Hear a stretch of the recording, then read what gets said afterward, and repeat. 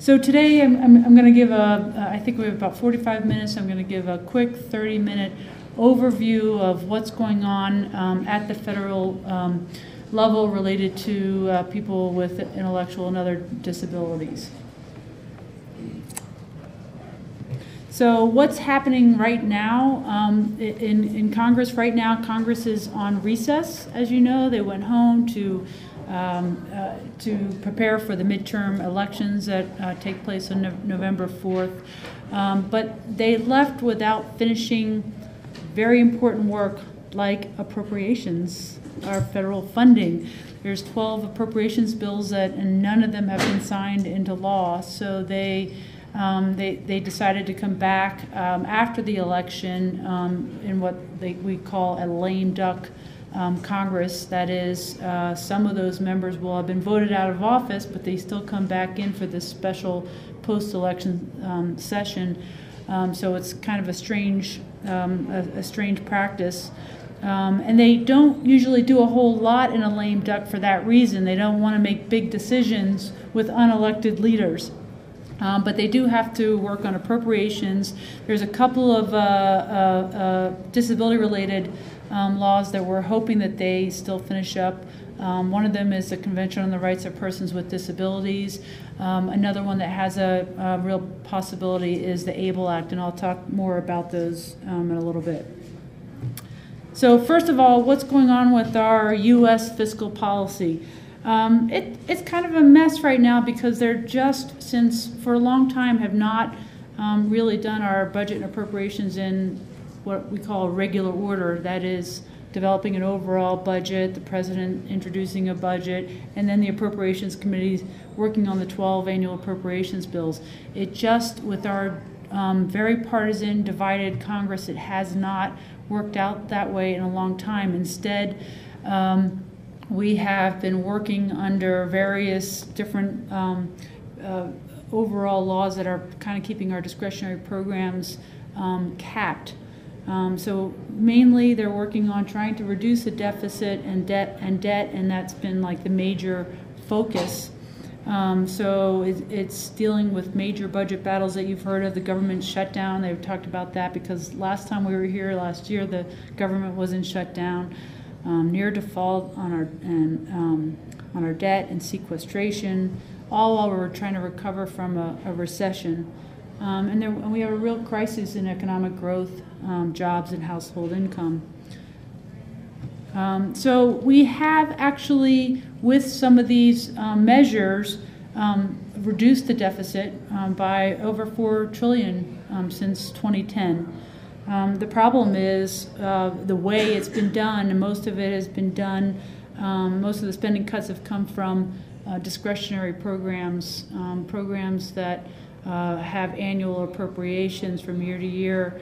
Um, so the, that very little piece of the discretionary pie that, um, that are non-entitlement programs um, is getting smaller and smaller and smaller. and that that includes things like special education, supported employment, um, a lot of our research dollars, higher education, a lot of the programs that we feel like really need more investment.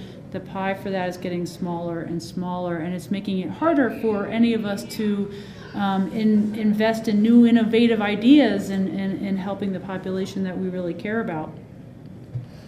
Um, so um, where we are is really our non-defense discretionary spending is actually um, at the lowest historical levels that it's ever um, been. And, and I said the result is no money to make um, new investments. And so when people say to me, well, we really need to do this, we really, you know, we really need to reauthorize IDEA and put more money into this. And I'm like, yeah, but we're in this like zero sum game that if we, if we make an investment here, we have to cut from here. Um, we call them pay-fors. So if there's any kind of new investment in a program, they have to find some other place to cut, usually in the same kind of category. Um, we're dealing right with that right now with the ABLE Act, um, the, uh, which, which I'll talk more about, but it's kind of stuck even with a lot of bipartisan support because we can't find the money to pay for it.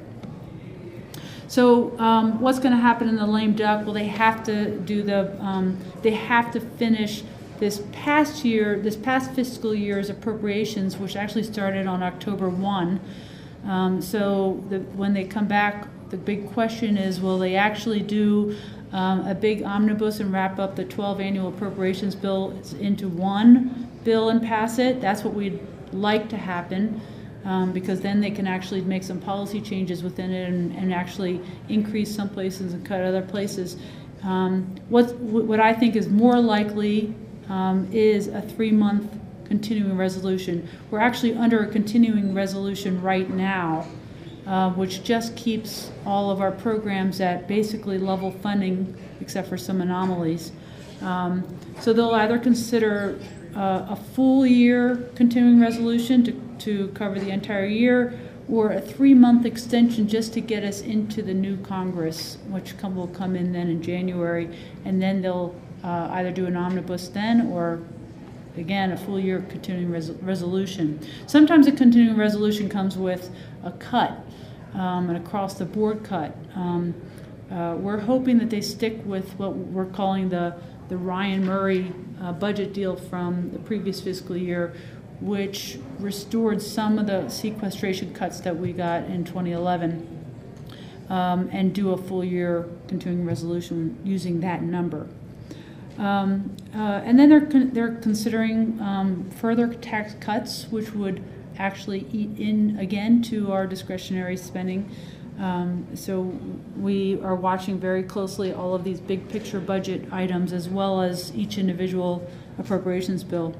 Um, and then we're very worried about the budget um, uh, for the next fiscal year, which that which should be beginning they're beginning to work on right now um, except that it usually starts with the president putting together a budget, but the president's, the administration doesn't even have the numbers from the previous year, so it's very difficult to begin the budget uh, planning for the next year when you don't have the final numbers from the previous year.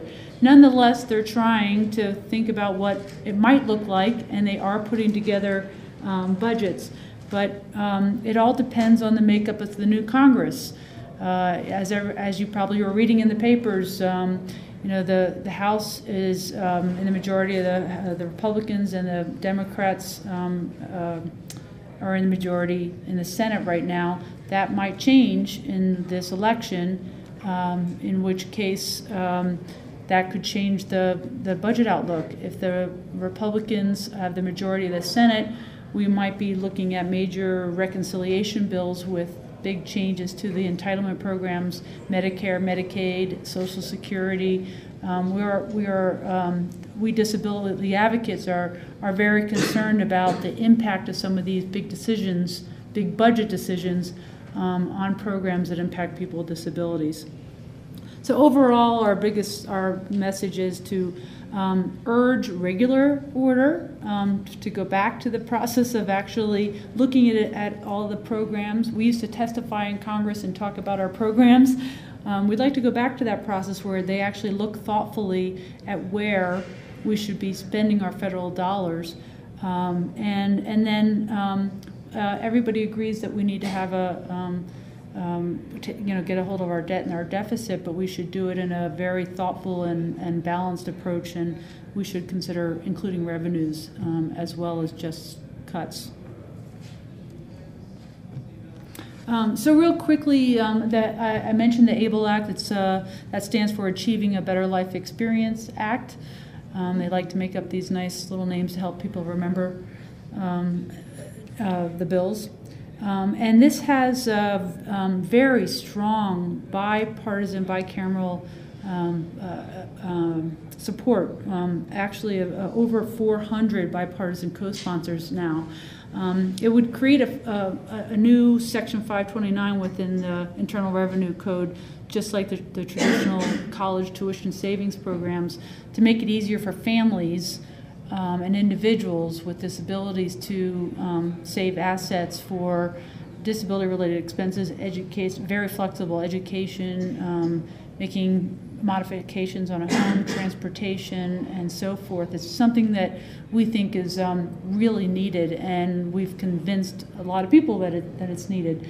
So even though there's this much bipartisan support, um, we were hoping that it would be the cost would be decimal dust in a larger tax bill that would be moving, and we never got such a tax bill because really nothing is moving in Congress right now. It's it's quite dysfunctional, um, to be honest. Um, so because we don't have the big tax bill, the um, the Congressional Budget Office scored it at a very high number, um, 20 billion to be exact or thereabouts, and um, we can't find 20 billion in pay-fors in a place to cut to pay for that. So they've made changes to the program to bring it down to uh, two billion cost. And now we that means it's major changes, and not everybody's happy with them, uh, all the changes. So we're negotiating on all that and trying to. It'll be a compromise bill, and it'll be a smaller program. It won't be everything that we wanted, but we're still hoping that we get something in this Congress before um, it adjourns finally. Um, and then the Disability Treaty. This is uh, an international uh, human equal rights, human rights treaty for people with disabilities that would help the one billion people worldwide, um, and and set up you know basic principles that were based on the Americans with Disabilities Act, and we could export some of the things that we've learned. Um, globally, and would allow us to be on the, an international committee that is helping to um, uh, basically provide technical assistance, um, share information. Um, it'd be really helpful globally for business. Um, we've been trying really hard to convince um, the Senate to uh, to ratify the treaty, but it, has been very difficult um, for reasons other than support for dis- people with disabilities. It's it's more ideological uh, reasons against um, the United Nations. I mean, simply put, there's a lot of uh, people skeptical of anything that has UN's, the UN's name on it. So we've had a very difficult time overcoming um, what we think are some unreasonable fears uh, about this very simple um, equal rights treaty. So, but we, we don't give up. We keep trying, and, and we've been working really hard. Um, we're getting close. Um, we think that we, if we, we, if we put it to a vote tomorrow, that we are very close. We, we need a, at least six more Republicans just to say yes to this treaty. Um, uh, and we think we're close, but nobody will admit it publicly. Um, so uh, we're, we're trying to pressure um, the Senate to take action on it in the lame duck um, because we think we are close, and we don't think that we'll have a very good chance after Senator Harkin retires and other disability champions retire um, we think this is kind of like our last chance, so we really want to put to a vote, even if we're close, even if we're not positive we have the 67 needed. So that's where we are in the um, in the lame duck. Any questions? Okay, so. That's just symbolic, though. You know, do we really care? Um, yeah, we do care. It's really important. Well, first of all, it it um, you know, I, I traveled, did some traveling around the world, and it's embarrassing that we helped to create the treaty. Um, we signed the treaty, and now we can't we, we, we can't get the support to sign on. So it's kind of embarrassing that we're not at the lead of this. That we should be um, leading in the world on this important issue, and um, it would help us be, like I said, uh, be part of this uh, international committee. Um, and other people, other countries have even said that they're going to uh, they're, they're going to do business with countries that have signed the treaty. We've even heard that. So it's, it's not good even for us in global business sense. We should be thinking about technology, for example, and all have the same standards of technology, but we're not even part of the conversation um, if we're not on that committee. So it, it's just, it's kind of embarrassing um, yeah, for one. How many Republicans voted no? In 2012, um, all, almost all but five. That's pretty embarrassing. It's embarrassing, yeah. So we, um, that's why I said it's. We have all the Democrats, all the Democratic senators on board. We need at least six more Republicans in order to get the 67 votes needed to ratify. Um, so, any other questions? Good questions. Um, so it, we, we did have some accomplishments um, in this Congress and the administration. Um, we consider public policy not just legislation, but also regulations and other administrative actions. Um, uh, so we were successful in getting the Workforce Innovations and Opportunity Act um, passed. Um, the uh, reauthorization of the, of the Combating Autism Act, which is now called Autism Cares Act.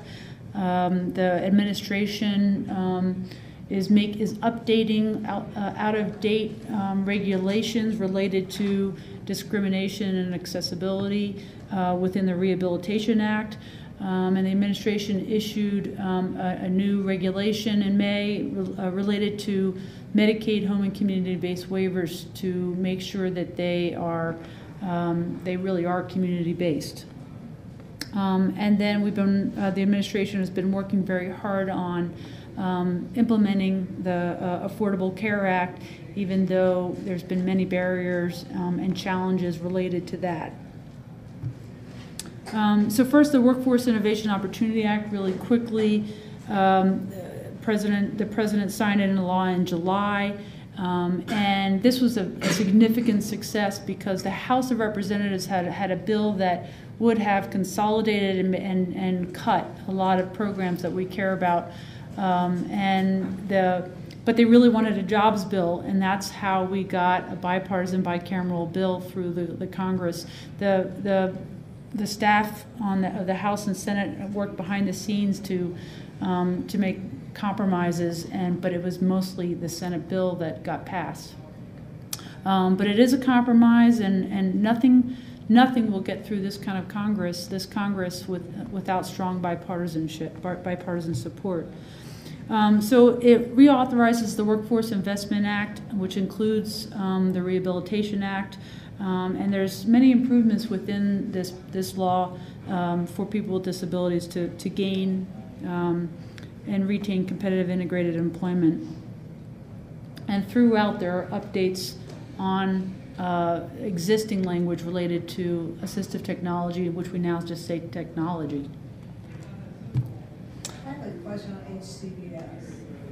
Uh, I was given some information saying that the Federal Centers for Medicare and Medicaid have come up with new home and community-based services setting, settings That's it, that's what I was talking, that's what I'm that talking may about. alter the location in which HCBS services can be provided.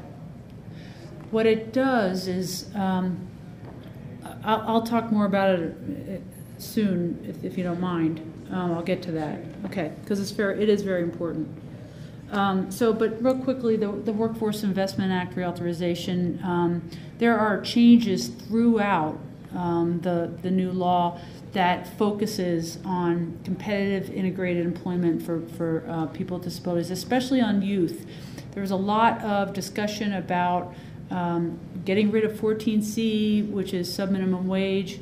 Um, there was not there was not bipartisan, bicameral, or even disability community agreement on 14C. So instead, Senator, as with Senator Harkin taking the lead, there was just uh, focus on um, uh, creating more opportunities for competitive employment and also kind of cutting off the uh, front door of sub-minimum wage settings and making sure that youth with disabilities, um, as they're come as they're transitioning out of high school, um, are afforded more opportunities for um, while they're still in school to try um, working while they're in high school. Same kind of opportunities that people with students without disabilities um, have, so that they can make better and more informed choices as they're exiting high school.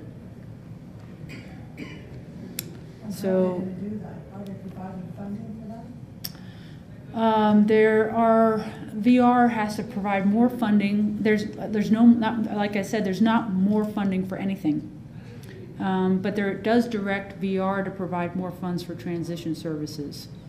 Um, uh, and um, um, there's language in there to try to make sure that VR counselors get more um, training. Um, there's more uh, looking at quality, there's more looking at wage and hour rules, there's more oversight, there's more reporting requirements and data, data uh, collection requirements, everything they, they can do without more money.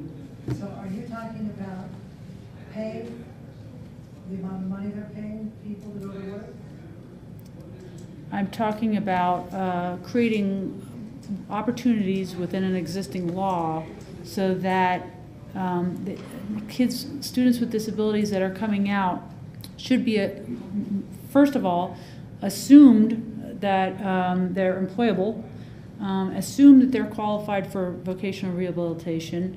Um, they're, they're, they can't just go right into uh, a sub-minimum wage setting anymore without at least trying, getting VR services, without at least trying um, competitive integrated employment, without trying internships and um, other job opportunities, uh, mentoring and, and things like that that other kids um, get. But no, there's no more money. Um, it's just creating higher expectations for kids from the time they're born. I mean, that's really where we're kind of heading is trying to uh, make sure that youth, as they go through school, um, that their families get different messages when they're born, that the schools are providing different messages about the expectations for these kids, um, and that um, schools, I mean, schools can no longer just contract with um, a sheltered workshop so that kids have a pipeline right into sheltered workshop that's just not going to be allowed anymore. And it's not just the Workforce Investment Act that that's happening. That's um, that's happening with oversight from the Department of Justice and Department of Labor. Um, so it's a whole movement. It's an employment first movement. What if a student's not employable? The assumption is employment first. Everybody should have choices, but they should be um, where that fits their abilities and choices and wishes and um, what they want. But they should at least have the opportunities. People are very concerned that there's this huge move to get rid of sheltered workshops. And so what's going to happen is Yeah. students will maybe work four hours one day a week, and then they'll, well, then what? And, and can you can you identify yourself Um, Patty Turner, from Kansas. Kansas. Kansas? Okay, thanks, Patty. Um, I mean, I've got this list of of Yeah. concerns from Kansas, yeah. and, and sheltered work, trying to get rid of Yeah. sheltered workshops is one. Another is, uh, Mhm. talking about paying people that work in a work situation, disabled people that work in a work situation more. Well, that's ridiculous, because you just pay it back to Mhm. the state. Well, what the workforce, um, the, what the WIOA, as we like to call it, does, is just make sure that um, students with disabilities are getting the same opportunities that other kids get. There, a, lot of the studies that um, and research that that we've seen out there are showing that um, students that at least get to try different work environments and try get to do internships get you know on the site uh, same kind of opportunities that we did when we were when we were young and we got to try out different job opportunities. Um, students with disabilities we want to make sure that they're getting the same opportunities. That's all that this the workforce investment act reauthorization law does.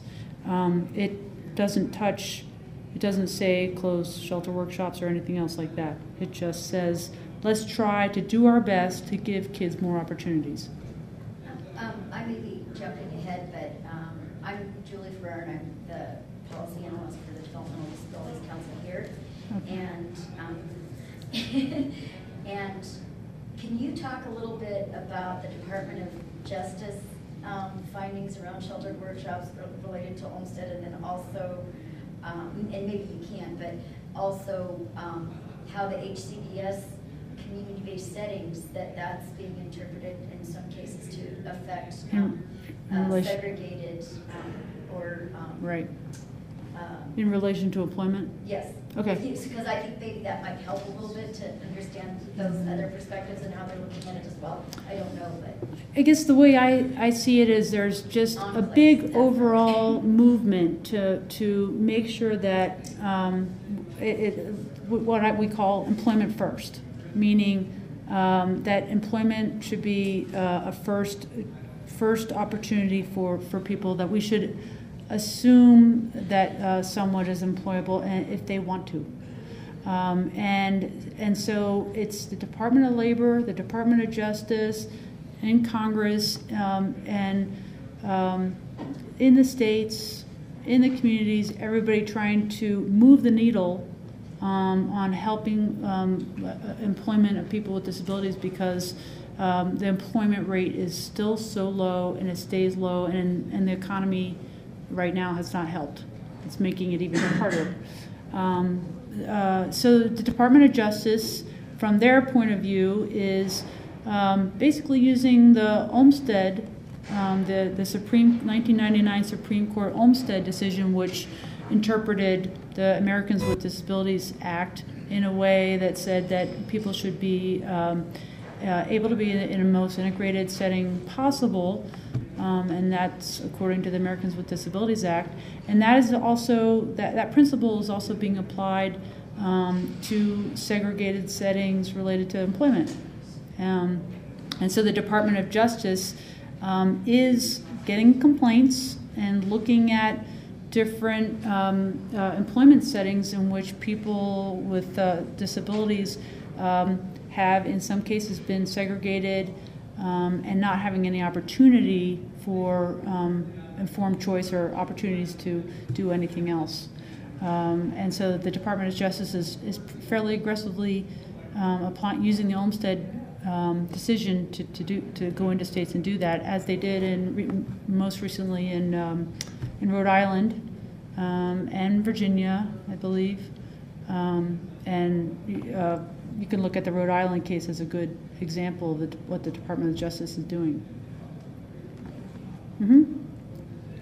So there's Senator Harkin. Uh, he was um, from Iowa. He's he was the lead champion on um, on the Workforce um, Innovation uh, and Investment Act, and he um, uh, he really pushed really hard. And now he is, of course, been a disability a champion on many laws, including IDEA and. Uh, parts of the, um, the Rehabilitation Act and, and many, many iterations of the Workforce Investment Act um, and so on. And now he's retiring, um, and and so we will really really miss him. Um, and uh, so we're trying to build new champions in disability policy, and we need your help in, in doing that. So there he is at the signing. Um, so in addition to the, the Reauthorization of Workforce Investment Act, like I said, some of the Rehabilitation Act rules are being updated and we think this will really help too. So wherever the Department of Labor can, they are trying to push, um, you know, the needle again, pushing like federal contractors to uh, hire more people with with uh, disabilities. Um, and we think some of the data that will be collected related to these new rules um, and some of the self-disclosure uh, will really help us uh, moving forward to, to understanding um, the real picture of employment for people with disabilities. Uh, so moving on, another um, important uh, law that was uh, reauthorized was the, the Combating Autism Act, and some, and there were a few improvements to the to the uh, law as it was reauthorized. One was the new name. It's now called the Autism Collaboration, Accountability, Research, Education, and Support Act, um, and uh, it reauthorizes the law for five years. Um, this law um, is put uh, started in 2006 and put additional federal resources into um, some existing efforts to uh, help with a, high incidence of um, uh, autism that we're finding. So put a little bit more money into the Centers for Disease Control um, to do uh, more surveillance and um, research in this area uh, the Health Resources Services Administration to um, help uh, train interdisciplinary health professionals to be able to um, detect earlier um, and provide evidence based uh, uh, services to um, children with uh, autism. Um, and it reauthorizes the Interagency Autism Coordinating Committee and makes some uh, changes to the committee to have more people with autism on the committee, more, pe- more parents, and, and more advocates. Um, it also designates a, an overall HHS official to oversee uh, the entire um, programs related to uh, the Combating Autism Act. So, um, lots of questions about the home and community-based services rule. Um, I, basically, some of the here's just some of the key points is to make sure that I, I think it, I think it's just to make sure that the Medicaid home and community-based um, waivers or any anything related to home and community-based um, services under Medicaid should be home and community-based. I mean, it's really kind of um, that simple. And uh, they were finding that there were some states that were using um, the waiver services um, in institution-like settings. Um, and there were a lot of complaints related to this. Um, and so I think that that's the basis for uh, writing the rule. There was a comment period, and they got a lot of comments. Uh, we provided comments. Uh, they got hundreds, I know at least. Um, so they finally came out with the with the final rule. I think here's the key dates. It was published in January, um, effective March 17th, um, and now states have time to um, to transition into this uh, uh, into compliance with the new rule. So yes, it applies to settings in that, um, for example, you can't have um, an institution close but then set up little houses on the campus site anymore. Um, they, that will be considered not home and community based if it's still institution like um, and, and individuals living there do not have the opportunity to interact um, in, the, in, in the community. Um, and so there's actually laid out some pretty prescriptive um, descriptions of what the settings would look like. And it also uh, affects um, provider controlled settings um, so that people have more self determination and control over their own lives. So things like they should be able to choose their own roommates. They should be able to decorate their own rooms. Um, if there's, they should be able to lock their doors. I mean, things that you and I take for granted, or people without disabilities might take for granted. There's a lot of people with disabilities who are very unhappy with the lack of control in their own lives. And I hear it all the time when I'm with self advocates. I have to go to bed at this time. I can't keep the lights on. I can't read at night. Um, um, so this is to try to resolve um, longstanding complaints with the way the waivers are being used.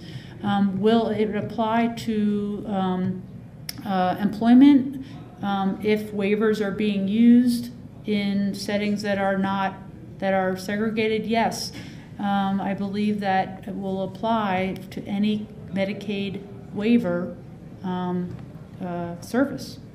Um, how I think I think the uh, I think the administration recognizes that there's going to be a long transition and that nobody wants to see people hurt. So um, there's there's going to be lots of stakeholder input.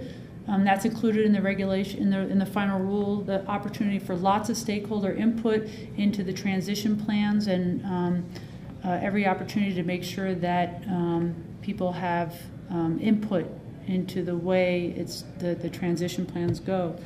Um, we are very, uh, uh, we think this is, uh, is very important um, in the way this is implemented so that people are, um, uh, so that states are doing it in the right way and people are getting the right kind of services and people are having the right input. So we put together with uh, some of our other developmental disabilities partners this HCBS advocacy site so that we can number one provide information about the rules so you can get the text of the rule of the of the regulation here. You can get all the fact sheets that are, that are out. You can get um, uh, you can see what other people are doing. We invite um, folks to come and not just learn about the rule but also to share resources uh, we've been holding forums for our members um, to share information um, about uh, how to write the transition plans, what are other states doing, because I think states will, I think it'll be really important for states to learn from each other as they um, transition into uh, uh, compliance with this new rule.